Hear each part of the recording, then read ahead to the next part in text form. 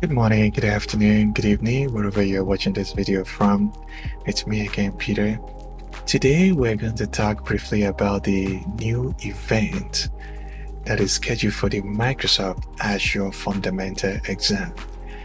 Even though we have missed the first training event for this year, we still have an opportunity to register for this event on January the 19th, 2023 and also January the 20th, 2023.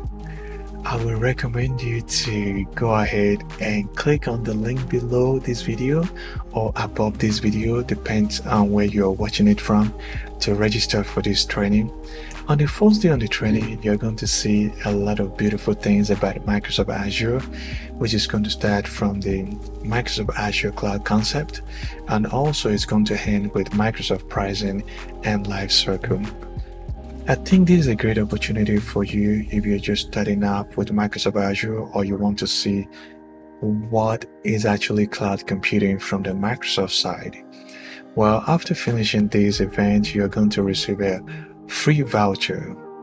You heard me, free voucher to write this exam at no cost. I'll be very glad to guide you on this exam. I already have the badge. So if you do have any question, please reach out to me and I'll be very glad to assist you on that.